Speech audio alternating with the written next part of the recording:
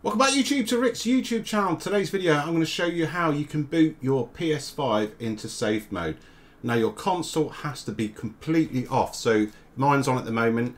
I'm going to press the power button and turn off the PlayStation 5.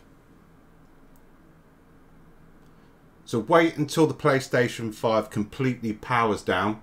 If your PlayStation is in the vertical position, it's the very bottom button. The one on top of it is the eject button. And all you want to do is keep your finger on it until you hear two beeps like this.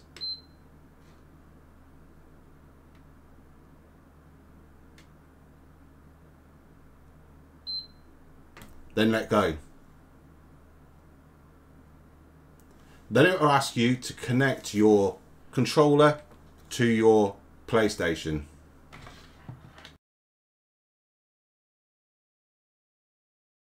So somehow I've managed to lose my uh, charging cable, so I'm just using a Type-C cable. I'm going to put it in the USB slot and also put it in the Type USB on the controller and then hit the PlayStation button. As soon as you hit the PlayStation button, you have the option to restart your PS5. If you're getting a black screen, you want to change the video output. You can update the system software, for, so for whatever reason, if PlayStation bring out a new system update, which I think they will because there's a problem with rest mode. You can update your system there. You can do it manually as well.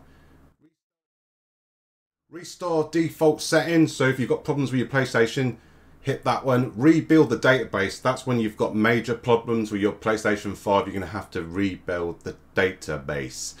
Number six is reset the PS5 and also seven is reset but reinstall the system software. So basically that's completely wiping it and installing the new PlayStation 5 software. So that's basically how you get into safe mode.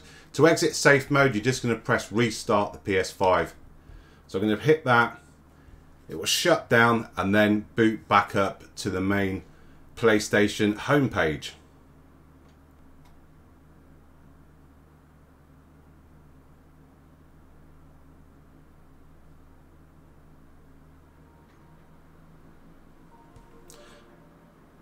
As you can see, we are back on the PlayStation.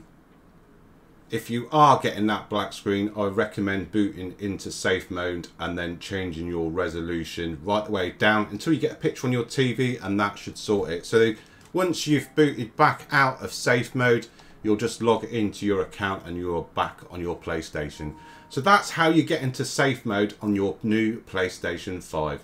If you're new around here, I make PlayStation and Xbox videos, so please leave a like, subscribe, and I shall get back to you with another one. Thanks for watching.